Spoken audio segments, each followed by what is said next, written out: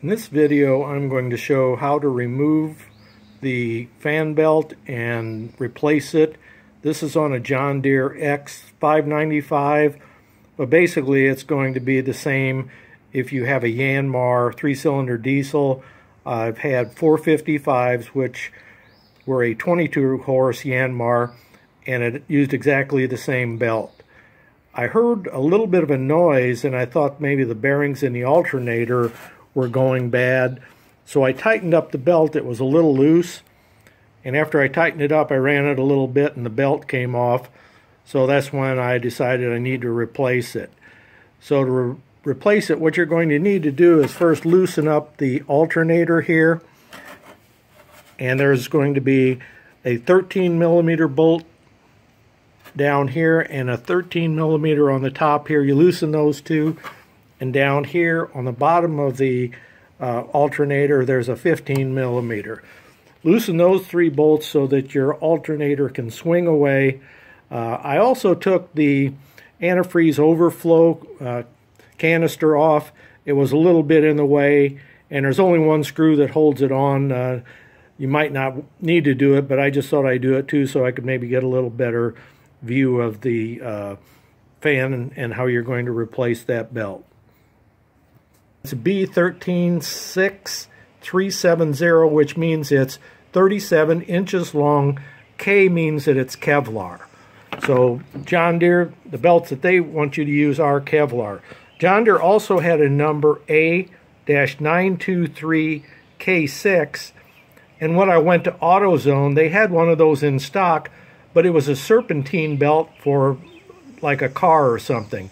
So the number that I would use is A36K.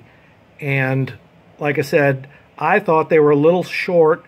And so what I've actually done is I've ordered a 36K, 37K, which is going to be an inch longer. And I just found that that worked better. So now I'm going to start to uh, show you how to put the belt on. To be able to get the belt around the pulley on the back of the engine, you're going to have to disconnect the drive shaft. The drive shaft has a rubber, they call it isolator, in between the drive shaft and the engine. And what there are, uh, there are three bolts in there. They're 13 millimeter bolts that you're going to have to uh, loosen them, take them out, and then try to push the drive shaft shaft back a little bit so you can slip the belt on. If you can't get it on, your other option is going to be to go to the drive shaft where it connects to the transmission and loosen that up. Okay, the bolts that uh, are connecting to that rubber uh, isolator are, in my opinion, they're not exactly 13 millimeter. This is a 13 millimeter socket and it's a six point socket and it's actually in my opinion loose. These are very very tight and you're going to have to put a lot of pressure on them so what I did is I went with a half inch six point socket and it fit this nut very snug. I was a little bit afraid to you know strip these on the uh, machine because if you did it would be a nightmare to try to get these out I remember the last time I did this, uh, I was questioning, you know, whether I was going to be able to get them out. But definitely you want to use the six-point socket, and in my opinion, the half-inch fits very snug, and that's what I would use.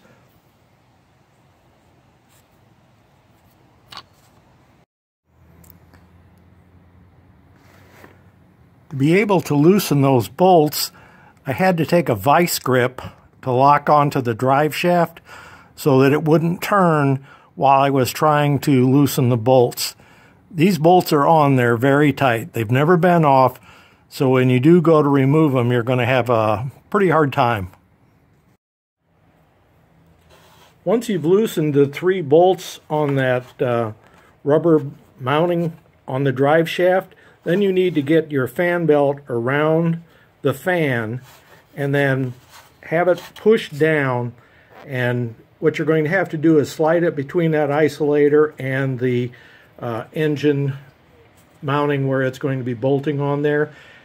And for some reason, this one, I've had trouble before where I had to actually take a screwdriver and try to pry those apart so I could get the fan belt in. But for some reason on this one, there's plenty of room and I'm just going to be able to slip it on and put those three uh, bolts back in there and then come up and finish reinstalling it on top.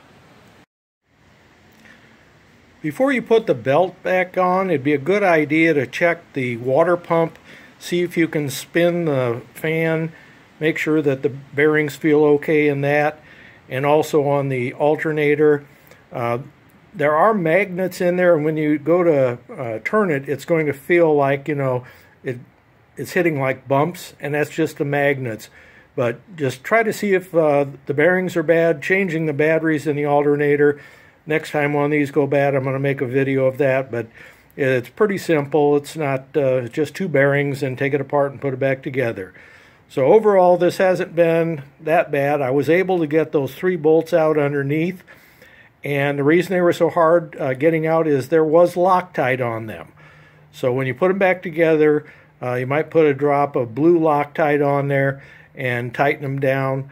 Uh, but that was probably the hardest thing about this whole uh, repair was just getting those three bolts out. You have to lay underneath the tractor to do it. When you're putting the belt on, you can actually get your hands in from the top here so that you can get it around the lower pulley and you don't uh, have to get underneath, you know, to get that belt on there.